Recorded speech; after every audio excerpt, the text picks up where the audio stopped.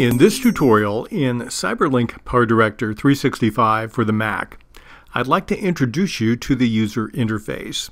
We're going to show you some of the main features of what you see when you load the program for the first time. There are three major panels in the program. On the left side, you'll find a panel that has multi-functions. It's a panel that has what they call rooms. In some programs, they're called bins. But there are seven icons that are stacked on the far left, and each of those shows a different way in which that room or container will show you different variations of what's available in the program for your tools. This is basically what I would call your toolbox. On the right, you see a preview of a video. I happen to highlight one that I brought in just for illustration. And you can see also a preview of graphic files and you'll also see an icon if you have music that you've brought into the bin. And you'll be able to preview either the audio or video or both when you're working with that preview window on the right. That's also detachable. We'll deal with that in the future. Then on the bottom you have a timeline. This is where you begin to build your project from one frame to another or one minute to another from beginning to end, and that's at the bottom. Let me highlight a little bit about the variations on the room area on the left. It starts out looking at the media content or media room. You can get there by pressing the F3 key on your keyboard. It starts out with media content and then color boards, background music, followed by sound clips. You can also tag anything you find in there in a project if you want. And you notice this panel is split left to right with a little blue arrow. If you have it open this way with the arrow, arrow in the middle, you'll be able to see the different categories. Now right now all I have in media is downloaded or nothing. When I click on the arrow, I'll see more in the room of what's there. You can also change the size of the icon display when it comes to using some of the tools here. You can also sort, and we'll talk about that later.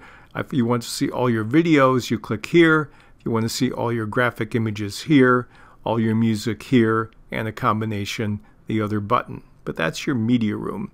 You'll spend a lot of time bringing elements into your project by clicking on the media room. The next area outlined is the title room.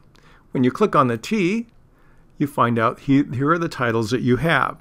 Now when you become a subscriber of PowerDirector 365, you will download the basic program. When you download the effect packs, you'll see many more options than the ones we see here. But we'll be loading them one by one and showing you what each of them add to your particular copy of PowerDirector.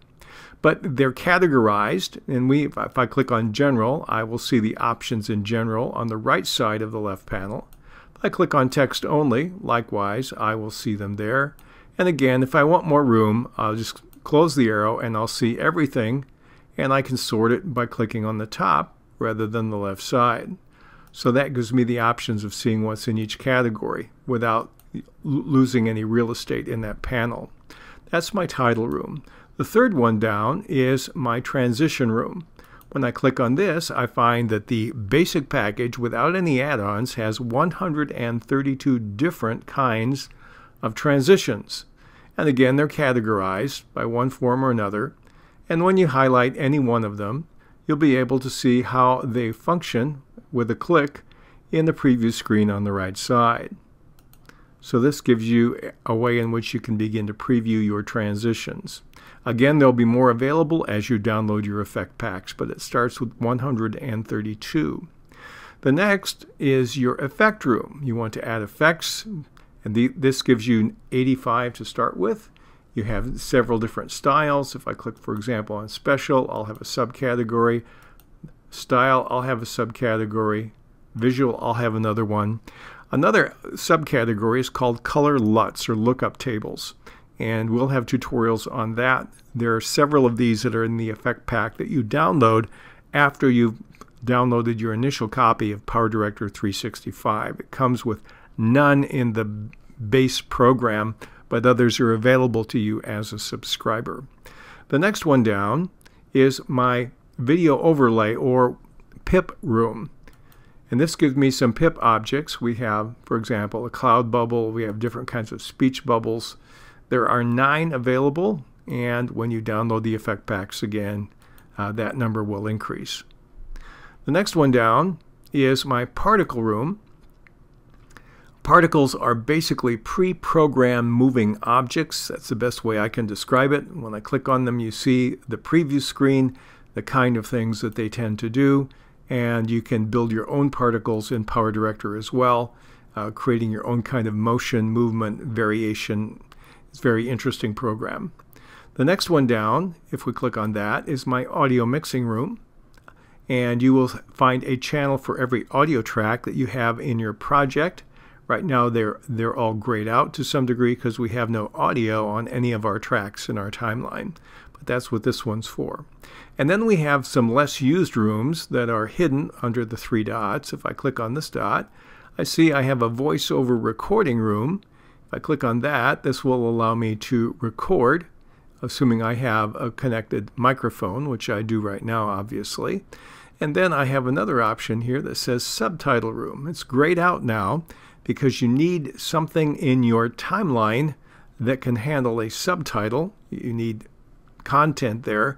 And but when you have content there, this will light up and you have options on working with subtitles in your projects in CyberLink PowerDirector. So that shows you a little bit about the core structure of the interface as you load the program, PowerDirector 365 on your Mac.